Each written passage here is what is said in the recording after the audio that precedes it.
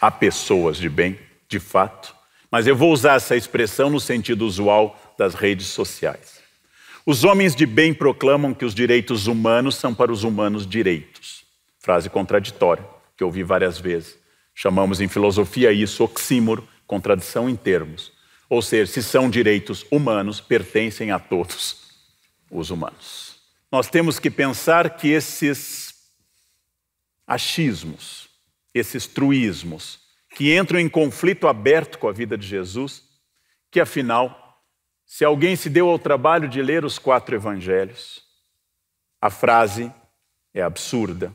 Jesus escolheu preferencialmente pecadores, desviados da sociedade, e fugiu dos doutores da lei e dos homens de bem da sua época.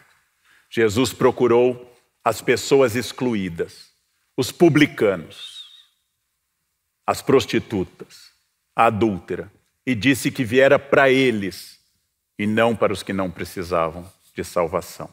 O cristão é definido pela palavra misericórdia, pela compaixão, pelo perdão 70 vezes 7, símbolo hebraico do infinito.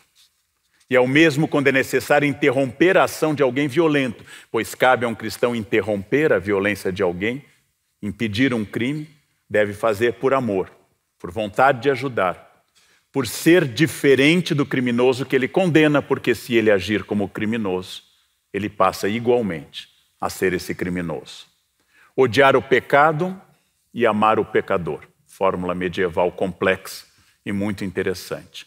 Eu odeio que você seja um ladrão, porque roubar é errado, fere aos princípios básicos da sociabilidade. Eu odeio que você roube e vou fazer de tudo dentro da lei e dos direitos para que você pare de roubar, porque é errado roubar. Porém, eu não te odeio, porque você é um ser humano. Preceito medieval que foge à nossa ideia de bandido bom é bandido morto.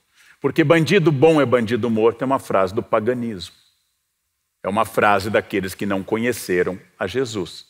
É frase de um romano sem batismo, de alguém que jamais teve contato com o evangelho e desenvolvia a ideia de que a justiça é a punição e a eliminação de quem eu considero desviante. O curioso não é a incoerência natural de todos nós, de mim, de qualquer pessoa, mas é afirmar a violência em nome de Jesus. Isso é o mais extraordinário.